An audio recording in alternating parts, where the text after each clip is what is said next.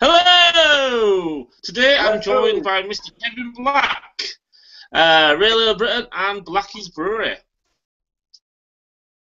How's things? Fine. Great Uh, to be back on. yeah. Uh, today we're reviewing um, a brewery that's uh, got a fun part in uh, Kevin Black's. He likes their beers, you know. Local to him. Whoops.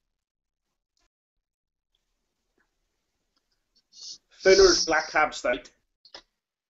Now, Stuart, have you had this before? Yeah, um, for people watching, um, I put the reviews of myself when I did the beer, uh, and also Mr. Kevin Black uh, when he reviewed it. Ah, Uh, it's all in the description bar below. Uh, also, the link for Kevin Black's channel, uh, Real Ale of Britain, um, where he reviews local beers as well as beers from all over. Uh, but as of late, it's all Yorkshire beers. there we go, folks. Black Cab Stout, Fuller's Brewery. I was probably one of the first to have this on cask about two years ago. It must have been around this date. Absolutely cracking beer on cask. As you can see, there's a light little bit of smokiness there. And as always, put it into the Fuller's goblet. I've got my dimpled glass, old British style glass. Um, now, uh, Kevin Black. Uh, the Black Cab takes its name from The Hackney Carriage. because at Kevin folks. Deep, deep black. smell. Got a nice. Beautiful. Now, I, I have to admit, I'm not a massive Fuller's fan, but um, this is always probably my favourite of the Fullers, mainly because I'm a big stout fan. Um, this one pours jet black, Stuart, jet black, with a lovely, just a, over a one finger head, which is just off white in colour. Mine's slightly cocoa brown. Uh, so when you first had this, this did this uh, Fuller's beer uh, m- make you inspired to do, to help you with your, your own brews? I think, I think, um, of all the Fuller's beers I've had, this Black Cab Stout was one of the ones, especially on cask, where I was like, "Oh my good word!" It was, it was absolutely outstanding. And then I, ma- managed to source four or five bottles from Az at the time. Um, and when I drank it, I was like, actually, if I produce a stout, it, I need to produce it like this. What is absolutely fantastic about the, this beer, on the nose, you get this beautiful burnt caramel, like Yeah, buttery, I mean which that's. is, which is very, which is very Well- rare in a I was going to say it's very sim- similar for every Fuller's beer. That buttery car- caramel. Mm. Definitely get that black You get that lovely, yeah, you get that lovely deep toffee note here too. Mm. Dig in. Mm. Oh, yes, yes, yes. So I haven't had this beer in over probably over a year, but oh my good god. It's still a nice beer. Mm. So, what was your first uh, Fuller's beer that, you, that inspired you to have such love for their beers? My first Fuller beer would have been London Pride, and to be honest, I'm not a big I'm not a big fan of it. Sure. Um, out of all the beers, I think my favourite would have to be London Porter, Black Cab Stout, and Golden Pride.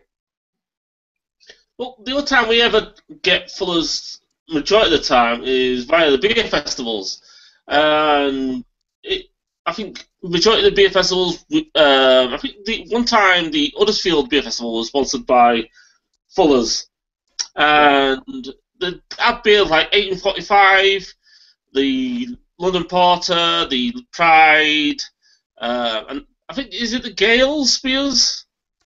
Yeah, yeah, Gales, yeah. Uh, we have Gales the was the other brew. And sometimes it's nice that the bigger breweries sponsor these brewery, uh, these beer festivals that showcase all these up and coming microbreweries. So that was my first experience of Fuller's beers uh, via beer festivals. Yeah.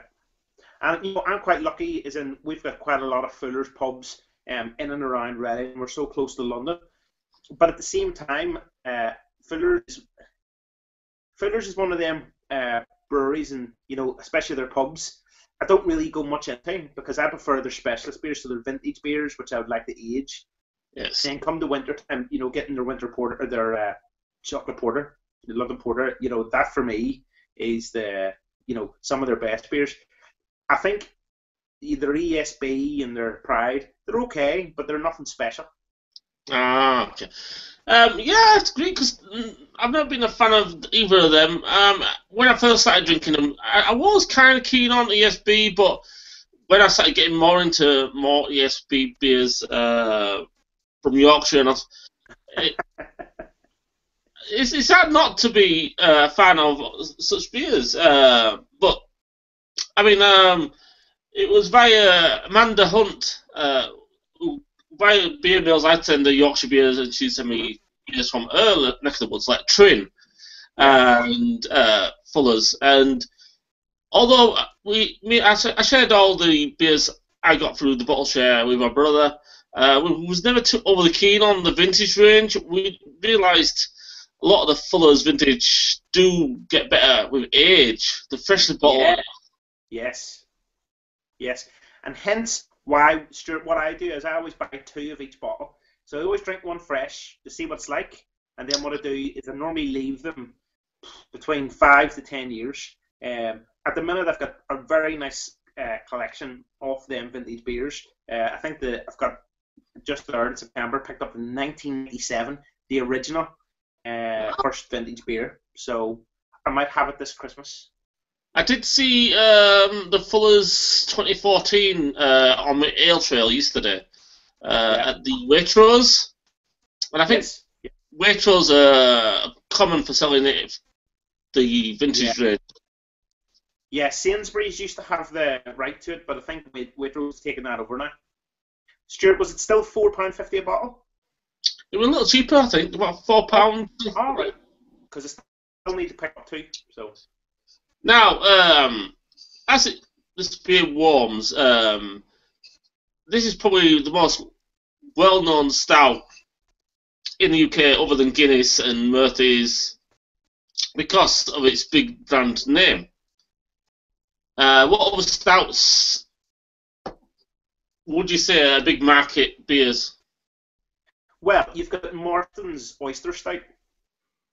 Hmm. Um, yeah, you've also got um, you've got a bottle in your chiller, the Nor- uh, Hook Norton, their double stout.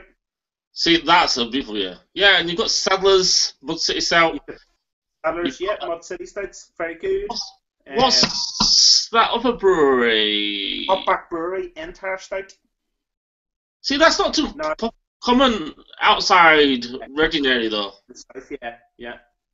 Uh, you've got the oyster stout. I- I think that's what is that what you mentioned earlier? From from Marston, yeah. Yeah, from Marston's. Um, Yeah. So you've probably got for British st- stouts. You've got the Marston's oyster stout. Yeah, You've got the Sadler's Mud City stout. yeah. Um, you've got the what's the one was it? Who said? Oh. Oh, the Hook Norton double Hook chocolate Norton. Yeah. um, out of those four, uh, five, would you rate this up there with them, or would you say theirs is better than this? I would say out of all them beers, the Hook Norton double stout is the best. This would come in a close second. See, I'd, I'd say Hook Norton is one, uh, Mud City as second, because I think Sadler's, they're all beers are okay, but that Mud City is probably City- one of the best. The, the good thing about Mud City Stout, Mud City Stout stands out because there's that nice vanilla, sweet nose and finish on the beer. Um, classifying it as a, as a proper s- I say proper stout, Yeah. take that vanilla out of it, and you talk about bitterness of beers, they would probably all equal out exactly the same. Mm. So I see Mud City Stout as a more of a specialist stout than a your bog standard stout. So, uh, which out of the stouts was your first stout? Mine was the Marston's Oyster Stout. Still a favourite from the pub. Yeah, mine was uh, Morrison's Oyster Stout as well, and it was in bottle form. Yeah. And you know, Claire still to this day, when she goes to the supermarket, she would always pick me some up because it is a solid beer.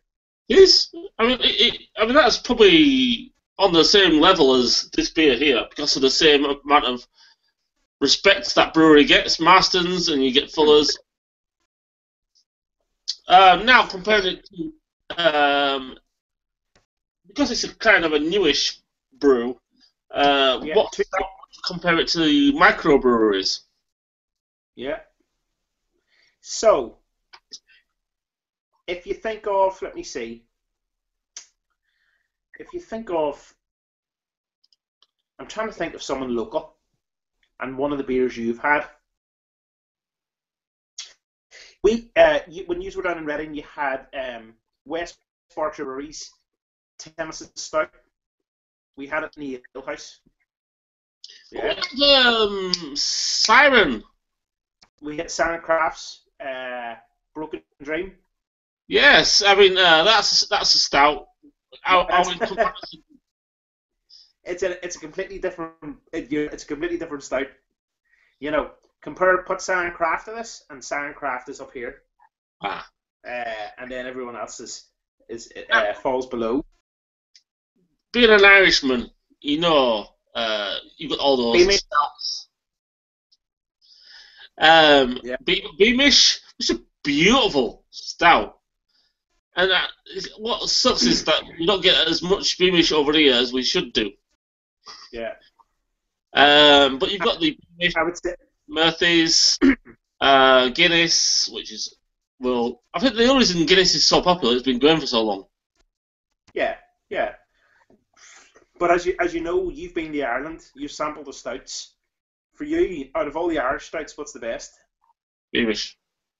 by far? By far, Yeah. because Beamish has got deep roasted coffee notes and a light chocolate chocolateness to it, whereas Guinness is just roasted malts. That's it.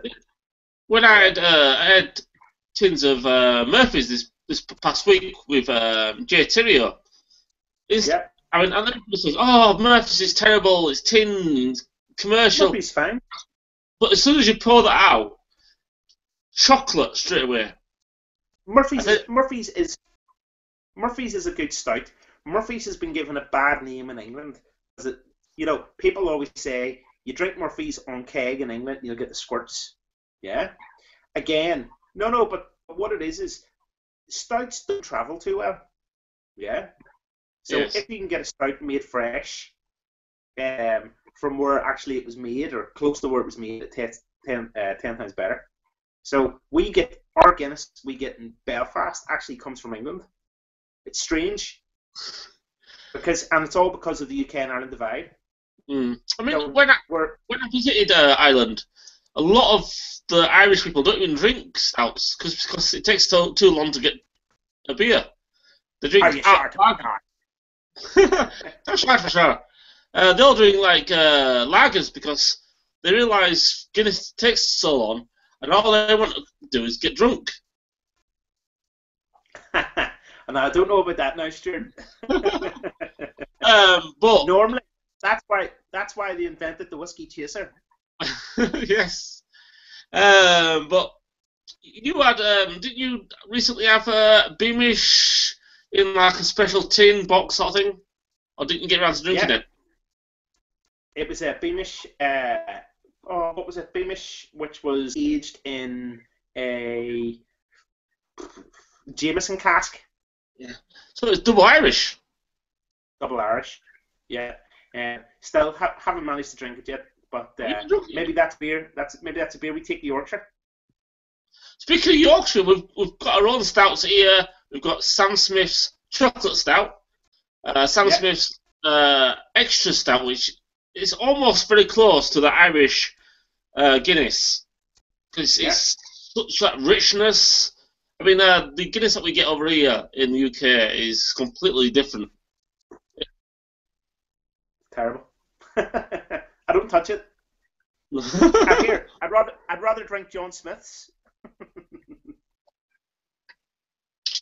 Now, uh, as as it warms, it's, get, it's getting a bit thin. There's not much chocolate taste there. It's almost like um their their ESB with chocolate Yeah. milk. Yeah. What you do, what you do, you start to get is when it warms up, you get more of that butteriness Yeah, come through. The beer bec- becomes very, very thin, and then, as you said, you know, you get that tartness of an ESB. yeah. I mean, that, I think that's what puts me off a lot of Fuller's beers because of uh, the butteriness. What, Stuart? I don't know if you've tried this on cask, right? But on cask, it is a completely different beer. Mm. It is a proper, well balanced roasted stout. All you get is roasted notes. In the bottle, it's quite sweet. Is the bottle pasteurized? I'm guessing, yeah, it is. It would be. All their stuff except for their 1845 is all bottle conditioned. Mm. Sorry, it's all pasteurized. Everything else except for 1845 and the vintage deals. Um, yeah, I mean, I, I, every time I, I see it, I always think, oh, I, I like that beer. And then I drink it, and then I, I don't quite like it. You know, if you, if, it's not one of those Yeah. sit around beers. No, it's one of them ones. You know, you, again, part of the reason why Stuart, I haven't had it in over a year. You know, there's better there's better stouts out there to drink. Yeah, I mean, But you know, this was one we talked about reviewing for the last six or seven months, and we'll get around to doing it. So it's great. Cheers. yes. But um, any final taste notes and stuff like that? I think when the beer warms up, it becomes very, very thin and very, very caramelly with uh, toffee uh, hints to it. Overall, for me, it's it's just your average average bottle stout. And in comparison to the what our, our, our mutual first stout, uh, how, how does it compare to the oyster stout in longevity? I think So the oyster stout, with the oyster stout, it keeps its flavour from top to finish. As it warms up, uh, with the oyster stout, you get more of a roasted bitterness the beer. Well, this seems to go even more sugar. Um, but uh, for new stout drinkers and ale drinkers, would you recommend it? I would not because of the bitterness. It kind of off-putting. I I don't wouldn't give, recommend it as a. No. No. and men, If someone, turn- if sorry, Stuart, if someone was to turn around to me and say, describe beer, I would say it's a weak porter. yeah. That's that's what it would be. I mean, um, what's the other thing? Um, yeah, I mean, you wouldn't recommend it to a new ale drinker because you'd want some to inspire them to, to try other beers. And this this doesn't inspire me to drink more beers because it, it's got that almost like varnishy aftertaste. Yeah, definitely. And I do you know what I think it is? And I need to ask Amanda, but I reckon this beer has East Kent Goldings in it. And that's what's giving it that. Or maybe a little touch of Willamette hops. Well, It does say uh, the Fuggle and Golding hops creating a satisfying bitterness. Oh there you go. I didn't even I didn't even see that. I mean, the pres- I do like the new presentation of their bottles. Yeah. They look um, they look good, don't they? Yeah. And Where as an are you Oh yeah. Fuggles and Golding. Sorry, go ahead. you know, this is guy's the real ale of Britain. He's writing a book on Brit- beers in Britain, and he doesn't read the bottle. Um, no, no, no. I couldn't see it at the bottom, but it's on the bottom line. Ah. But um, yeah, I mean, um, Amanda, really good person. Um, used to work for Fuller's, and she, she we, we always go to her for Fuller's information, and so she'd know a lot more than we would. I think Amanda is back at Fuller's again. Is she? That's good. I think she is. Yes, she is. Yeah. But yeah, I mean, I, would- I mean, yeah, I mean, um, recommending stouts um, other than the oyster stout, I, I'd recommend that to a first-time ale drinker. Yeah, yeah. Or Beamish. And even cans of Beamish if you can get them. And I'd recommend people visit Ireland because it's such a beautiful place. And if you, if you go to the old rural places, it's almost like stuff back in time. Yeah, yeah. It is. It is. But uh, when, the Yorkshire, when the Yorkshire man meets the Irish man. Uh, thanks again to Mr. Kevin Black, uh, Real and check out the link for his channel below, where he reviews a lot of uh, beers from Yorkshire and beyond. Yeah. Cheers, Uh, folks. Slamaka. Slam that car door. That's what uh, Stuart said. Slam a car.